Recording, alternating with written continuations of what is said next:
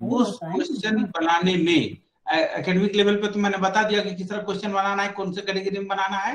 एक क्वेश्चन को जब आप कंप्यूटर में जब फ़ीड करेंगे आप तो फ़ीड करने में किस किस तरह से आप किस किस कितने मरहले हैं उन तमाम मरहलों का ज़िक्र करेंगे और उसमें जो परेशानी आएगी उसको भी दूर करेंगे और आपको हर तरह से आसानी फराहम करेंगे कि आपको किसी तरह की ज़्यादा दिक्कत ना हो। अगर कहीं दिक्कत होगी तो हम लोग यहाँ बैठे हुए ताकि दिक्कत ना हो आपको। और इसमें क्वेश्चन को कंप्यूटर में फ़ीड करने के लिए पूरी जानकारी ए टू जेड पूरी जानकारी अमित साहब देंगे आपको इस इसके बाद। इस हाँ मैं आपसे इजाज़त लेना चाहूँगा और इसी के साथ आपका बहुत बहुत शुक्रिया। हम लोग कल से हम लोग क्वेश्चन आइटम बनाना शुरू करेंगे, जो कहीं भी प्रॉब्लम आएगा, हम लोग सब यहाँ मौजूद होंगे, आपकी परेशानी को दूर करेंगे। थैंक यू वेरी मच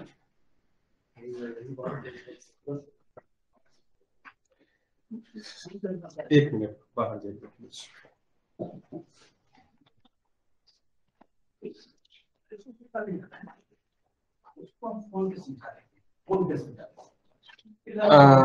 गौर कीजिएगा सभी लोग सभी लोगों को good evening good evening sir अभी आपको मैं बेसिकली ये बताऊँगा कि अभी तक आपने देखा कि क्वेश्चन किस प्रकार से बनाना है। हमारा चार दिन का ये प्रोग्राम था मतलब सॉरी आज पांचवा दिन है। पाँच दिन में आपको सारे थ्योरिटिकल सेक्शन डिस्कस किए गए। अब आपका जो आ गया, हम लोग अब टेक्निकल पॉइंट पे आ गए हैं और अब हमारा डिस्कशन जो होगा वो टेक्निकल चीज़ें पर होगा।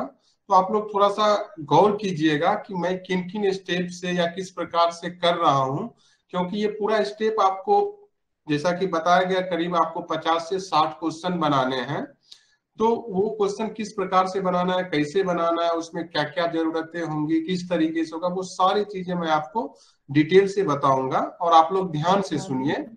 और जो आपको डाउट हो, वो बीच में ना पूछ के जब मैं अपना बताना खत्म कर दूँ, उसके बाद आप लोग पूछिएगा तो सही होगा। ठीक है तो मैं आपको जैसे कि इससे पहले हमारे साथ जो है हम लोग टेक्निकल टीम पूरी है। अभी जिसमें से दो लोग हम लोग उपस्थित हैं, मैं अमित कुमार झा और हमारे colleague mister NC Thomas sir हैं। तो अब हम लोग आप स्क्रीन पे देखिएगा और मैं आपको हर एक स्टेप बताऊँगा। और इसके बाद अगर आपको कोई डाउट रह जाएगा तो उसको भी हम लोग कोशिश करेंगे कि दूर किया जाए। तो इसमें आपको क्या करना है, सबसे पहले मैं एक स्क्रीन ये पूरा एक सॉफ्टवेयर है।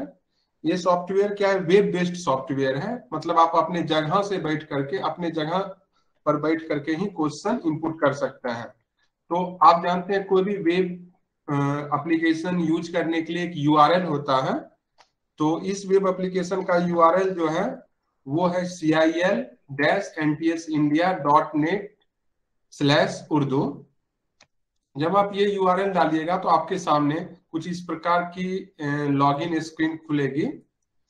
और इस लॉगिन स्क्रीन में आपसे दो चीज़ पूछा जा रहा है user name and password user name में आपको अपना ईमेल आईडी डालना है, वो ईमेल आईडी जिस ईमेल आईडी के थ्रू आप इस प्रोग्राम से जुड़े हैं, जब आप रजिस्ट्रेशन अपना किए थे एनटीएस के पेज पर, उस टाइम में आपने जो ईमेल आईडी दिया होगा, वो यहाँ पे ईमेल आईडी होगा। और पासवर्ड के रूप में आपका मोबाइल नंबर होगा। तो मैं यहाँ पर ईमेल आईडी दे रहा हूँ। आपको अपना ईमेल आईडी यहाँ लिखना है, ठीक है? मैं एक अपने एक कलिक का ईमेल आईडी यहाँ लिख रहा हूँ।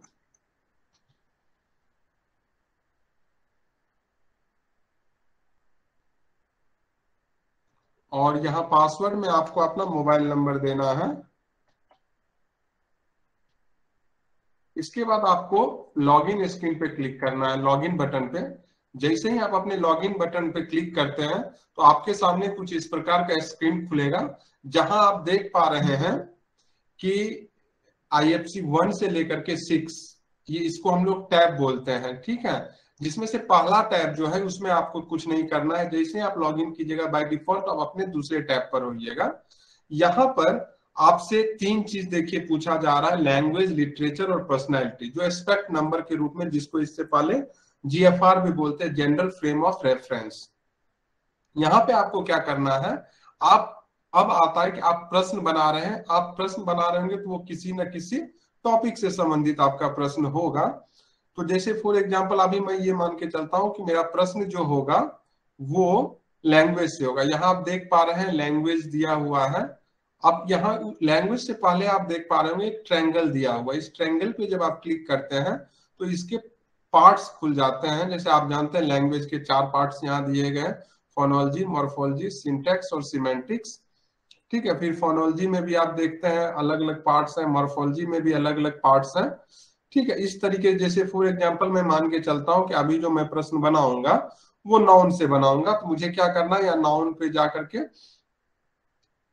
ठीक है? या जहाँ से प्रश्न बनाना है नाउन पे जाकर के क्लिक करना है। तो मैं क्या करूँगा? नाउन पे क्लिक करूँगा। जैसे मैं नाउन पे क्लिक करता हूँ तो आप देखते हैं एक्सपेक्ट नंबर में यहाँ आ जा रहा है। ये जो आप देख पा रहे हैं एक्सपेक्ट नंबर ये कंप्यूटर एक कोड है। इस कंप्यूटर कोड की मदद से हम ये जानते हैं कि ये प्रश्न किस कैटेगरी से आ रहा है। जब आप यहाँ पे सेलेक्ट कर लेते हैं, इसके बाद आपको नेक्स्ट बटन पे क्लिक करना होता है। उसके बाद सेकेंड प्रॉब्लम आपसे पूछा जाता है कि ये आपका डायमेंशन प्रॉब्लम क्या होगा। तो इस आपको ये जानना चाहिए कि जो हमारे लैंग्वेज के प्रश्न होते हैं, उसमें आपके पास डायमेंशन के चार प्रॉब्लम आएँगे। फॉर्म स्ट्रक्चर मीनिंग और यूजेज जैसे आप प्रश्न पूछ रहे हैं, वो किस चीज़ से संबंधित है? जैसे मान लीजिए मैं यहाँ पे बोला कि मैं क्वेश्चन पूछूँगा नाउन से।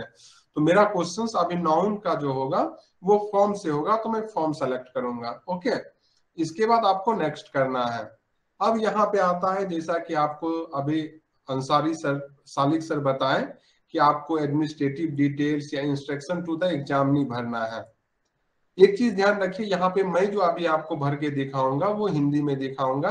आपको जो प्रश्न लिखने हैं, वो आपको उर्दू में लिखना है। ठीक है? यहाँ पे आपको क्या करना है? उर्दू में प्रश्न लिखने हैं। जैसे पहला एडमिनिस्ट्रेटिव डिटेल्स है। एडमिनिस्ट्रेटिव डिटेल्स में आपको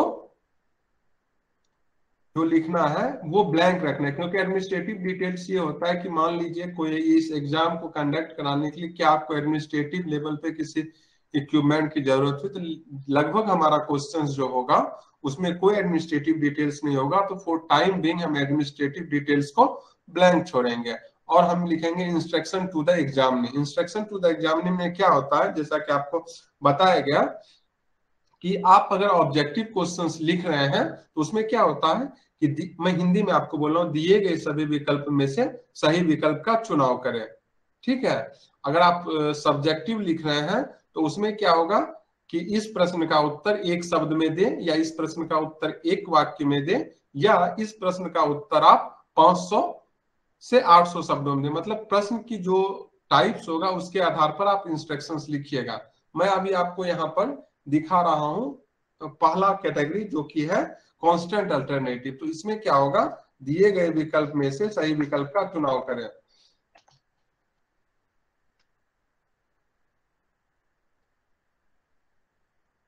आपको ये चीज़ मैं लिख रहा हूँ हिंदी में, लेकिन आपको ये चीज़ लिखना है उर्दू में।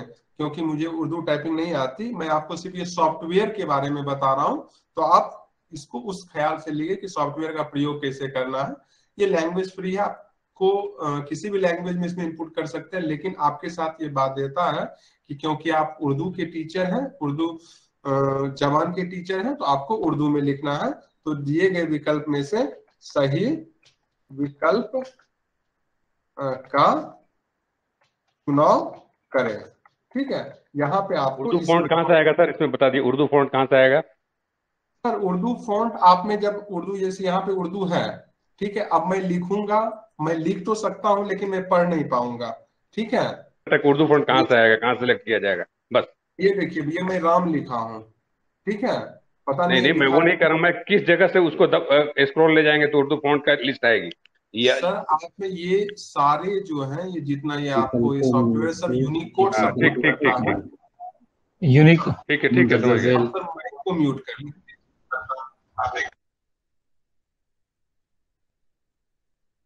सर माइक म्यूट कर दीजिएगा इनका। नेक्स्ट इसके बाद participants kind kind attention please.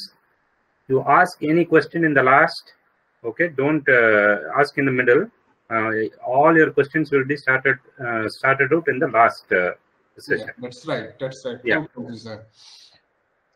तो इसके बाद जो है हमारा आइटम फॉर्मेट पूछा जा रहा है जब हम यहाँ पे रखिए तो आइटम फॉर्मेट में जैसा कि आपको अभी सर बताए कि हमारे पास पाँच ऑब्जेक्टिव टाइप्स है और पाँच सब्जेक्टिव टाइप्स है फॉर टाइम बीइंग हम लोग मल्टीपल सेट को पर कोई प्रश्न नहीं बनाएँगे जैसे मैं यहाँ पे लेता हूँ कि कांस्टेंट अल्टरनेटिव का प्रश्न बना रहा हूँ आपको पता होगा कांस्टेंट अल्टरनेटिव का मतलब होता है, इसमें इस प्रकार के प्रश्न आते हैं, जिसमें क्या होता है कि कोई एक स्टेटमेंट दिया हुआ होता है, वो सत्य है या नहीं, सही है या गलत है, ये चीज़ जांचा जाता है। इसे प्रश्न को हम लोग कांस्टेंट अल्टरनेटिव कहते हैं, सालिक सर आपको बता चुके हैं।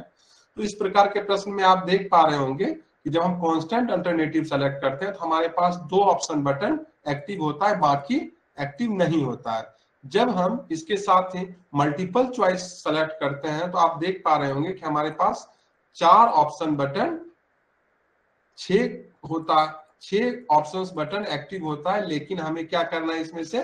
सिर्फ़ चार में भरना है। ओके क्योंकि एक जनरल जो होता है मल्टीपल चॉइस क्वेश्चन उसमें चार ऑप्शंस होते हैं कहीं कहीं पाँच भी होते हैं। इसके बाद आपको जब आप मैचिंग वाला सेलेक्ट करते हैं तो वहाँ आप देख पा रहे होंगे कि आपके पास जैसे मैचिंग टाइप के प्रश्न में क्या होता है? कॉलम ए और कॉलम बी होता है। इस प्रकार से मैं आपको इस सबके बारे में डिटेल से बताऊँगा आगे। जैसे मैं यहाँ पे लिखता हूँ, संज्ञा के चार भेद होते हैं। देखिए, मैं यहाँ पे उर्दू सेलेक्ट कर लिया हूँ। मुझे नहीं पता ये उर्दू सही आ रहा है या नहीं आ रहा है। आपको बेसिकली ये देखना है कि इसमें इस प्रकार से हम उर्दू में टाइप कर सकते हैं। क्या होगा? ये सही है या गलत है। ठीक है? एक क्वेश्चन हम पूछे और उसका क्या पूछे? ये एक जनरल स्टेटमेंट है। ठीक है? और इसमें क्या है? एक स्टेटमेंट है कि संज्ञा के चार भेद होते हैं। तो ये क्या सही है या गलत है? हम जानते हैं ये है गलत। तो हम क्या करेंगे? ये हो गया मेरा ऑप्शंस प्रत्येक क्वेश्चन का आंसर भी आपको देना है। तो इसका क्या हो जाएगा? ये आंसर गलत है। ठीक है, इसके बाद आपसे पूछा जाएगा, इसमें मार्क्स कितने देने हैं? तो आपको मार्क्स एक नॉर्मल क्या होता है, एक ऑब्जेक्टिव क्वेश्चंस में एक मार्क्स का होता है, ऐसा मान के चलते हैं। और एक मिनट टाइम हम देते हैं। स्कोरिंग प्रोसीजर के बारे में आपको बता दिया गया कि जब, जो भी ऑब्जेक्टिव क्वेश्चंस होगा ऑब्जेक्टिव क्वेश्चंस की किसी भी कैटेगरी से हम प्रश्न पूछेंगे, उसका स्कोरिंग प्रोसीजर जो होगा, वो इनोमरेटिव होगा। और अगर कोई भी सब्जेक्टिव प्रश्न पूछते हैं तो उसका एनालिटिकल होगा। हमारा ये ऑब्जेक्टिव है, इसलिए हम यहाँ इनोमरेटिव सेलेक्ट करेंगे। इसके बाद आपको ऑब्जेक्टिव लिखना है। इस प्रश्न के पूछने के पीछे आपका उद्देश्य क्या है? तो जैसा कि सर आपको बताएँ, इस प्रश्न के द्वारा विद्यार्थी के संज्ञा से संबंधित ज्ञान की जाँच करना। देखिए, मैं यहाँ पे हिंदी में लिख रहा हूँ, इसका उर्दू जो ट्रांसलेट होगा, वो आप लोग करके इस तरीके से लिखिए। जो भी टॉपिक होगा, उस टॉपिक से संबंधित ज्ञान का जाँच करना, ये आपका ऑब्जेक्टिव होता है। ठीक है? इसके बाद आपको क्या करना है? नेक्स्ट बटन पे क्लिक करना है। फिर आपसे पूछा जा रहा है कि आपका medium and mode of presentation क्या है? ये आप प्रश्न किस चीज़ के लिए बना रहे हैं? रिटर्न एग्ज़ाम के लिए बना रहे हैं कि ओरल एग्ज़ाम के लिए बना रहे हैं? कि दोनों के लिए बना रहे हैं तो आप उसमें से एक कोई चीज़ सेलेक्ट कीजिएगा। मैं अभी ये मान के चलता हूँ कि मैं जो प्रश्न बना रहा हूँ, वो रिटर्न एग्जामिनेशन के लिए बना रहा हूँ। इसके बाद आपसे पूछा जा रहा है एजुकेशन लेवल हम क्या मान के चलते हैं कि ये क्वेश्चंस जो है, ये प्राइमरी सेक्शन का क्वेश्चंस है तो हम इसमें प्राइमरी सेलेक्ट कर लेंगे। इसके बाद आप देख पा रहे होंगे L2 और L3 पूछा जा रहा है। आप चाहें तो इसको सेलेक्ट कर भी सकते हैं L2 और L3 से, और अगर ना चाहें तो आप नहीं भी सेलेक्ट कर सकते हैं। इसके बाद आपसे आता है रेशनल जो कि लास्ट में बताया गया। रेशनल में भी क्या होगा? विद्यार्थी के विद्यार्थी के संज्ञा से संबंधित ज्ञान की जाँच क्या? यहाँ पे आपको पता गया निशान के आधार पर। जांचा जाएगा। और वहाँ पे क्या है? उत्पादन के आधार पर, यानी कि आपको पहचान के स्तर पर, पहचान को उर्दू में बोलते हैं निशान। निशान के स्तर पर जांचा गया। ठीक है, ये आपका क्या हो जाएगा? रेशनली हो जाएगा। इसके बाद आप देख पा रहे हो कि हम लोग सिक्स नंबर टैब पर आ गए हैं। और नीचे आप देख पा रहे होंगे choice index feasibility value discrimination index mean ability index और लेवल ऑफ़ प्री वैलिडेशन इसमें आपको कुछ भी नहीं करना है और आप यहाँ पे जैसे ही सबमिट कीजिएगा, ये प्रश्न सबमिट हो जाएगा। लेकिन इससे सबमिट करने से पहले स्टार्टिंग में मैं आपको एक सलाह ये दूँगा कि सबमिट करने से पहले आप एक बार पीछे जा करके टैब नंबर टू पे क्लिक करके चेक कर ले कि हम जो भी चीज़ लिखे हैं, क्या वो कहीं कोई टाइपोज वगैरह तो नहीं रह गया है? ठीक है? कहीं कोई गलती तो नहीं रह गई? जैसे मान लीजिए ये हिंदी है। हमको बेटर क्या होगा, इसको उर्दू में लिखना चाहिए। तो दिए गए विकल्प में से सही विकल्प का चुनाव करें। तो आपका बेसिकली क्या होना चाहिए कि जो जैसे पीछे कोई जैसे हमें मालूम चला कि पीछे कोई गलती रह गई हम उसको सुधार करके नेक्स्ट करते हुए जब हमें ये लगेगा कि हाँ चलिए अब पूरा सही है, हम अपने हिसाब से कंफर्म हो गए हैं, उसके बाद हम जैसे सबमिट बटन पे क्लिक करेंगे तो आप देखेंगे कि ऊपर आपको एक मैसेज आएगा success question item added successfully इसका मतलब क्या है कि मैं जो प्रश्न बनाया हूँ, वो डेटाबेस में सेव हो गया। मतलब जैसे ही आप अपने एंड से सेव कीजिएगा, वो प्रश्न क्या होगा? आपके कंप्यूटर के एंड से हमारे सर्वर में, यानी कि मेरे कंप्यूटर में आ जाएगा। और कुछ चीज़ें मैं थोड़ी बहुत बता देता हूँ, जैसे मैं आपको ये इंस्ट्रक्शंस बताया, कहीं पे हो सकता है आपसे छूट गई, आपको मालूम नहीं चल पाया तो आप उसके लिए क्या कीजिए, यहाँ पे देखिए मैनुअल वीडियो दिया हुआ है, जैसे आप इस पर क्लिक कीजिएगा, इसके बाद क्या होगा कि ये एक वीडियो आपको खुलेगा, इस वीडियो में आप सारा चीज़, ठीक है, इस वीडियो से आप सारा चीज़ फिर से एक बार देख सकते हैं। उसके अलावा अगर आपको ये देखना हो कि आपके कितने क्वेश्चंस इनपुट हुए हैं, उसके नंबर्स को देखना हो तो आप यहाँ ऊपर में टोटल काउंट से भी देख सकते हैं। इसके अलावा और भी ऑप्शंस आपके पास क्या है कि आप यहाँ ऊपर में आपका नाम दिखेगा। यहाँ जब आप क्लिक कीजिएगा तो आपको व्यू प्रोफ़ाइल दिखेगी। आपको व्यू प्रोफ़ाइल पे क्लिक करना है। जैसे आप अपने व्यू प्रोफ़ाइल पे क्लिक करते हैं तो यहाँ पे आपको टास्क दिख रहा है। इस, या आप यहाँ डाउन में भी देख सकते हैं कि आपके टोटल कितने क्वेश्चंस हुए हैं। यहाँ टास्क पर जाकर के आप view and edit questions item ठीक है? इसमें आप क्या कर सकते हैं? जैसे कोई प्रश्न बनाए, ठीक है? उस सारे प्रश्न को आप यहाँ पे देख सकते हैं। जैसे मैंने अभी 18 नंबर क्वेश्चन बनाया तो आप यहाँ पे देख पा रहे होंगे हमारे द्वारा जो क्वेश्चन बनाया गया, वो यहाँ पर आप देख सकते हैं। इतना ही नहीं, अगर मान लीजिए कभी आपको ये हुआ कि जैसे हम क्वेश्चंस देख रहे हैं अपना आपको क्या लगता है कि फॉर एग्ज़ाम्पल कि मैंने जो अभी क्वेश्चन बनाया, ये सत्रह नंबर क्वेश्चन अठारह नंबर क्वेश्चन इसमें आपको अगर लगता है कि कोई गलती है तो आप यहाँ पर एडिट पर जाइएगा तो आपके सामने कुछ इस प्रकार की स्क्रीन खुलेगी और यहाँ पर आप उसको एडिट कर सकते हैं। जैसे मुझे ये लगता है कि यहाँ पे फुल स्टॉप ना हो करके या जैसे मैं कोई एक वर्ड जोड़ना चाहता हूँ, ठीक है? चुनाव करें। ठीक है, जस्ट आपको दिखाने के लिए मैं बता रहा हूँ, अब क्या है, मुझे ये चीज़ ये करना था जैसे हम कोई चीज़ चेंज करना चाहते हैं तो आप यहाँ पे चेंज करके फिर आप प्रीव्यू पे क्लिक कीजिएगा, ठीक है, फिर आपको सही वाला प्रीव्यू दिखाएगा, और आप यहाँ पे अपडेट पे क्लिक कीजिएगा तो आपका जो क्वेश्चंस था, उसमें आपने चेंज कर दिया। कहने का मतलब ये है कि अगर आप एक बार क्वेश्चंस इनपुट कर भी देते हैं, उसके बाद अगर आप चाहते हैं, आपने सारे प्रश्न को देखना तो उस प्रश्न को देख करके उसमें अगर कहीं कोई गलती है और कोई सही करने की गुंजाइश बाकी है तो आप इसको जब तक आपका यूज़र एक्टिव है, जो आपको एक यूज़र आईडी और पासवर्ड दिया गया है, उस एक्टिव यूज़र्स के द्वारा आप उस प्रश्न को सही कर सकते हैं। इसके बाद जैसे आप अपना प्रश्न इनपुट कर रहे हैं, आप क्वेश्चन देख लिए और इसके स्क्रीन पर है तो यहाँ से डायरेक्ट आप क्लिक टू एड पर जाइएगा तो आपको एक नया क्वेश्चन दिख जाएगा। एक और मैं एग्ज़ाम्पल लिटरेचर से आपको दिखाता हूँ।